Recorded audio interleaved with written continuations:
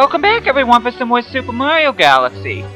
Last time we went to the Gateway Galaxy and got the Grand Star and rescued it. Now we're gonna be going to the Terrace. And we're gonna be going to the first galaxy here, which is the Good Egg Galaxy. As you can see here, there's five galaxies here. And of course, like I said before, we're gonna be going to the Good Egg Galaxy. Now, I consider this the first normal galaxy in the game, and I'm going to be playing the first one on here, which is six in total, but I'm going to be playing against Dino Piranha. And yes, there is a boss at the, at the end of the stage, but as you would expect at the beginning of the game, he really isn't all that hard. And there he is right now in the egg.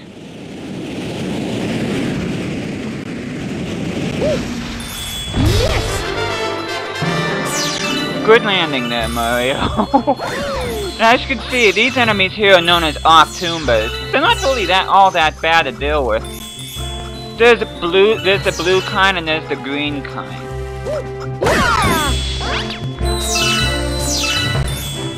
And like most of the game, the music here is just fantastic. Yeah, anytime you see sparkles in that, then you know that there's either going to be star bits or coins there. Sometimes there won't be a sparkle, so you're going to have to walk over it anyway, but just make sure you walk over like flower patches or high grass patches, and you'll be able to find some pretty cool secrets. This is actually a good place to farm some star bits, too, because that comet constantly comes and, um, has more star bits to deliver. And there's usually around four or five at a clip for each comet that comes, so... Yeah, there's four right there. And there's another one now, question block.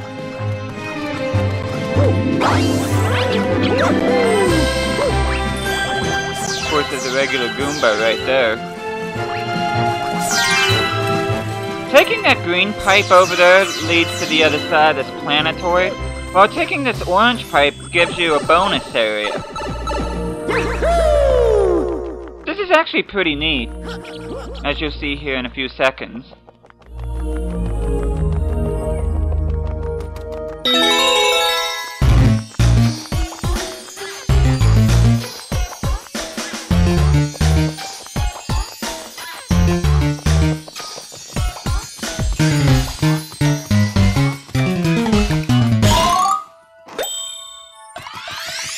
That pretty neat? As you probably hear by collecting all those music notes, that was the classic underground theme from uh, the original Super Mario Brothers game. If you get tired and want to return to Observatory, press minus or plus and select to return into Observatory. But you can't bring back any star bits you picked up, so be careful. Yeah, anything that you collect in a level, it won't stay on you uh, with you unless you complete whatever stage that you're at. Which really isn't all that big of a deal, unless you're trying to go for the maximum amount of star bits and coins in the game. And of course there's a, a launch star right there. My friends are ahead! Hurry!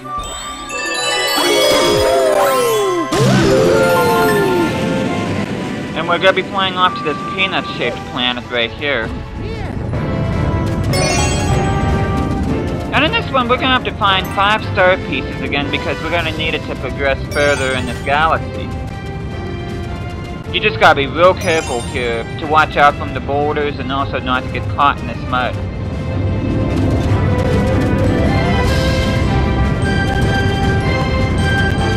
Now I should say, if your timing is exactly right, you can actually spin attack those boulders by hitting them on the red spot and you can actually destroy them.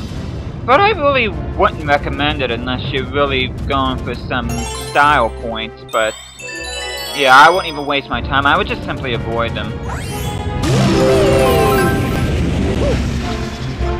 Of course, we get this small planetoid right here. Those enemies right there, they will latch onto Mario's head, and if you let them on him long enough, they can actually drain his life, so you really gotta be careful.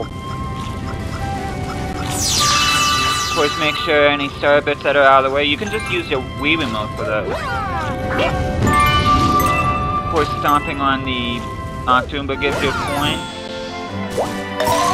And defeating this piranha plant gives you this vine right here that you can go up.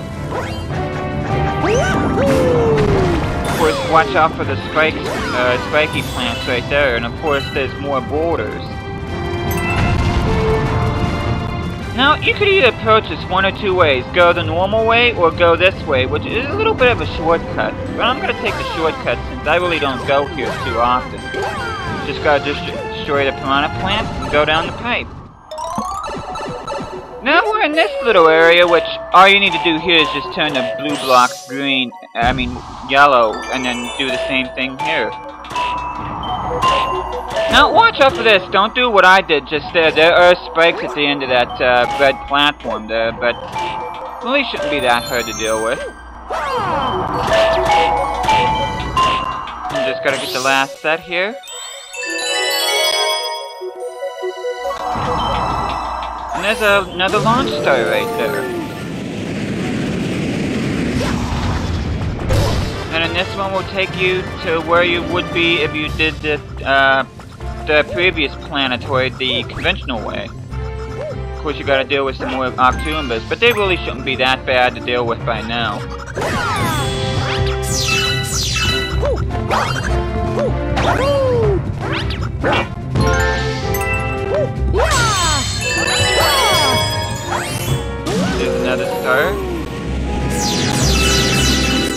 You collect as many star bits as you can here while Mario is flying to the next planet, which happens to be the boss planet.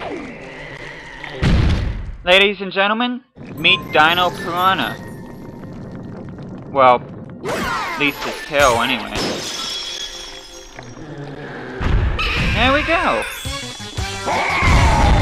Not quite Petey Piranha, but it'll do. Actually, to be honest with you, I think this thing is smarter than Piranha, but hey, that's debatable. Yeah, this boss isn't too hard at all. You just gotta just watch out for him and just make sure you keep on walloping his tail. Of course, it's really not happy right now. I'm not sure what gender this is. I know I got call it a he. It could be a she, I don't know. But it's probably best just call it an it because I really don't know what gender it's supposed to be. But there you go, defeating Dino Piranha uh, gives you a Power Star. But before I get it, I just want to get these uh, star bits and coins that are trapped in the crystal here. So yeah, not bad at all.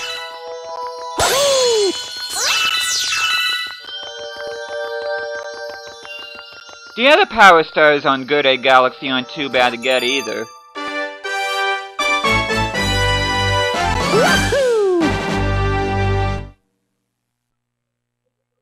Get to hear some fanfare there, and that that's pretty much what you get every time you get a power star, so... Of course there's Polari right there, and there's Luma above Mario save my game? Uh, might as well. And before I end this video, I do want to show off something else that's pretty cool. That you actually unlock later on in the game if you're playing this uh, from scratch. Just gotta go over here towards the bedroom area. Don't do backflips, Mario. if you go on top of the bedroom area right here, you can probably see it. It's trapped in this um, um, crystal right here, and it is a red star, which turns you into Flying Mario. And I want to show this off because there are actually a couple one-ups here, that's three to be exact, hidden in this uh, Comet Observatory. First one is right under here. Just gotta veer left here, and it's right underneath where the gate is, where you go in order to get to the Gateway Galaxy. Haven't played this in a while, so it kind of took me a while to get used to the controls here, but it's pretty easy to make Mario fly as Flying Mario, and of course the third one up here is right on top of the Comet Observatory.